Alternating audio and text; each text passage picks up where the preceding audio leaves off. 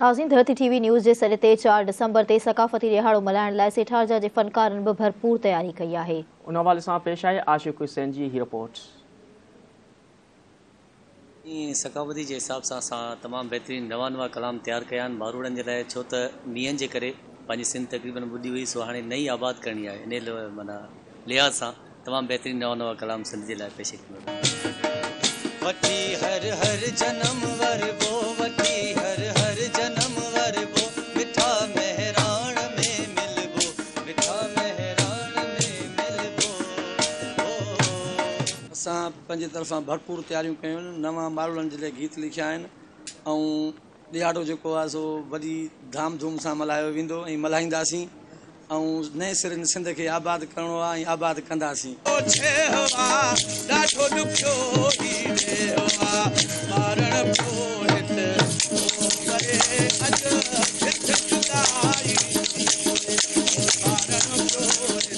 اسان جي سنڌ جا جيڪي به هتان جا سٺارن جا رهاڪو فنڪار آهن اهي وڌ ۾ وڌ اهو تياري ڪري رهيا آهن ۽ اسان انهن سان گڏ آهيون. ۽ اسان جي سنڌ مڪمل تباهه ٿي وئي آهي. سو اسان ان سنڌ کي ٻيهر آباد ڪرڻ جي لاءِ اسان وڌ ۾ وڌ خوشي ڪنداسين ۽ اها ڏينهن جيڪو ملهائينداسين وڏي خوشيءَ سان ملهائينداسين انہیں تعاوع سیکھراجن کے فنکار کی